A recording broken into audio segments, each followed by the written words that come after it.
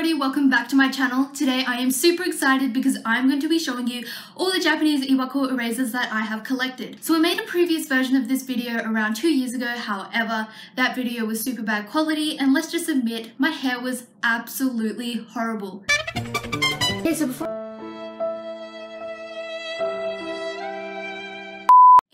that, I have collected a ton more erasers. In fact, I think my collection has actually doubled since the last time I made a video. So that's why I thought it would be an appropriate time to show you guys an updated version of all the Iwako erasers that I have collected. So I feel like I'm rambling on right now and I do want to get into the video very soon. However, I'm just going to give you guys a quick intro into what Iwako erasers are and why I collect them. So Iwako is a Japanese eraser company and I choose to collect their erasers because I think they are the best quality. Not only that, but they come with intricate detail and they're super cute and colorful as well. So I'm just going to show you an ice cream cone. Sorry if it doesn't focus. You can see all like the little details, the colors and the imprints. And I just think th this, uh, this eraser company does the best job at representing erasers in a cool and funky way, hence the name Omoshiro Keshigomu, which translates to funny erasers. Another reason why I like to buy erasers from this company is because they are an authentic brand. Now, Iwako was the first company to create erasers shaped like, you know, food and animals and cool things like that. However, different companies and shops such as Kmart and the dollar store have started distributing erasers that look similar to Iwako erasers but are fake. Now, the way you can tell uh, whether Iwako erasers are Uh, authentic or not is they'll come in a package looking like this. They'll have the Iwako symbol at the top and the Made in Japan logo at the bottom. Not all Iwako razors come in packages like this, however you will know that it is Iwako if it has the Iwako brand at the top and if it says it's made in Japan. Anyway, okay, I am rambling on so I will get into the video, let's get started. Rightio guys, so let me just give you guys a quick overview of all the erasers that I have in their little plastic boxes and containers. I got these stackable uh, plastic containers from Daiso, which is an 100 yen shop in Japan, and I have separated the erasers according to their subcategories. So this one is sweets, as you can see, Asian foods, meals and convenience store foods, fruits and veggies here, animals here, animals here as well, fruits which I have not opened yet, water erasers, cutlery and saucepans, and these are just you know little erasers that, that I have um, on the side. So I will show you guys more in detail starting with the animals. So basically these are zoo animals, safari animals, farm animals, you name it. I'm just going to give you guys a quick view from the sides.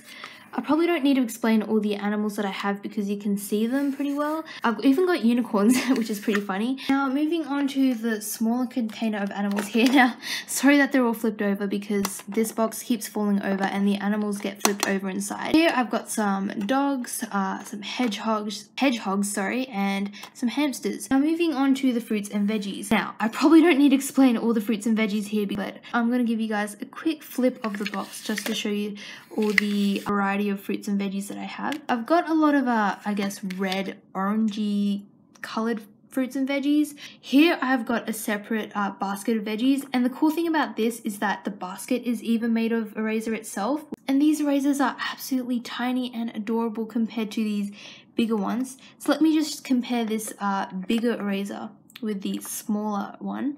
This is the regular sized pumpkin and this is the small one. So you can definitely see the size difference. Now moving on to my next set of erasers, which are the sweets. This has probably got to be one of my favorite erasers that I have because they're so colorful and cute and who doesn't love sweets? Here are the donuts and I don't know how to say these. Are they macaroons or macarons? I don't know. Let me know in the comments down below. Here we've got some cakes as well, some donuts, pizza, ice cream, more ice cream, pudding, biscuits, cupcakes. Here I have got um, sushi. This one is a small sushi set that I've got. So basically here I've got the big set in the Asian box. And once again, you can see the size difference. I forgot to mention, I have bread in the corner as well. So a croissant uh, cream puff, I guess.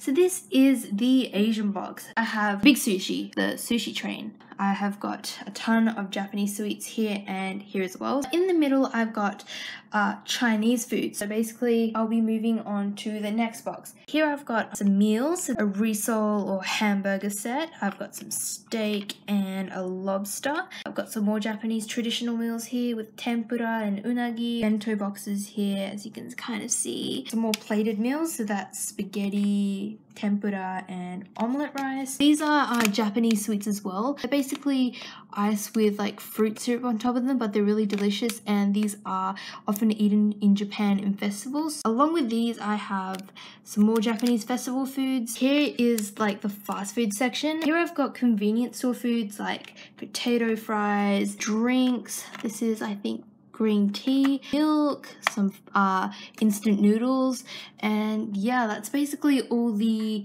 food items that I've got in this box. So these are cut fruits, basically self-explanatory. This one I got around, I think, a couple of weeks ago when my mum went to Japan. Uh, now this one is the novelty eraser box but I have put tape around it so I'll just open this for you guys so you can see. Okay so I've had to open this box and tip over the insides because it's easier for you guys to see this way but here I've got uh, a teddy and I've got some other teddies hiding around in here as well. I've got some Japanese Daruma dolls, an egg with a dinosaur in it, like a Japanese cat, a bunny. Basically as you can see they're all pretty random. Now finally moving on to to my Hello Kitty and the cutlery set. So the cutlery set didn't originally come in this box, but I decided to put them here because once again, they're different from the other razors. Next is the Hello Kitty razor. I got this one from the uh, Japanese Iwako factory itself. I decided to get the green because green is my favorite color. And this one, although they're not Iwako, they are awesome looking, I guess.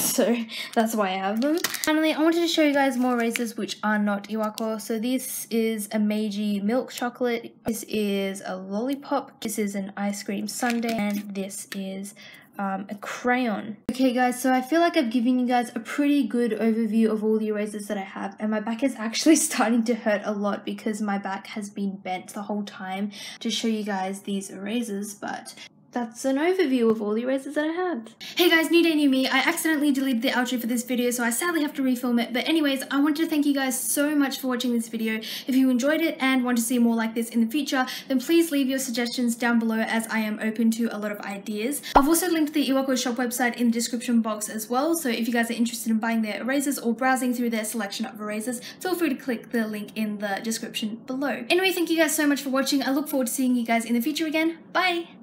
あなたさらりびたびりんなばりつかんびん